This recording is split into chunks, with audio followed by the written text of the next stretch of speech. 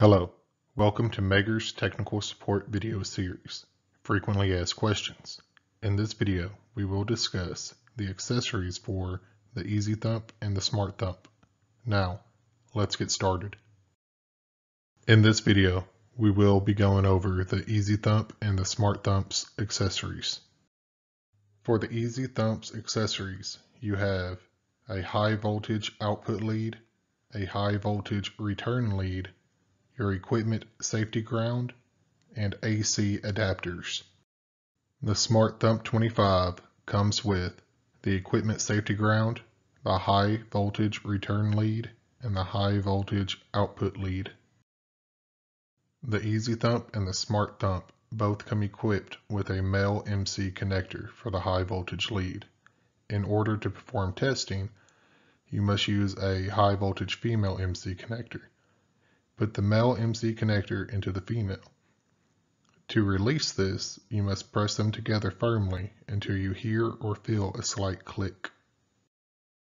Additional accessories for the EZ Thump and the Smart Thump are a 15 kV elbow adapter, a 25 kV elbow adapter, and a 35 kV elbow adapter.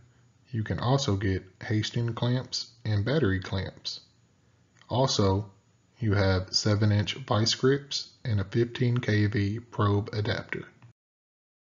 Accessories for the EZ Thump and Smart Thump HV return leads are a hotline clamp and a vice grip.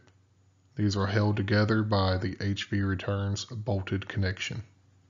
Further accessories for the ground are a safety ground C-clamp with a mounting plate, a safety ground C-clamp without the mounting plate, and a hotline clamp. For additional safety, both the EZ Thump and Smart Thump have an optional external safety device. If additional length is needed for testing, Megger has cable reels, AC power supply cord reels, a high voltage with a high voltage return lead cable reel, in 50, 85, and 130 feet. Megger also has a two-cord cable rack for vehicle mounts, as well as a three-cord cable rack. The only difference is on the three-cord, it comes with a reel for the AC power supplies. This concludes the accessories for the EZ Thump and Smart Thump.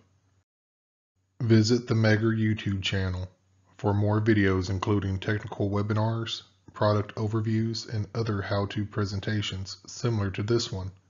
Contact us for questions or more information about this topic, or for any support that you may need for your electrical testing.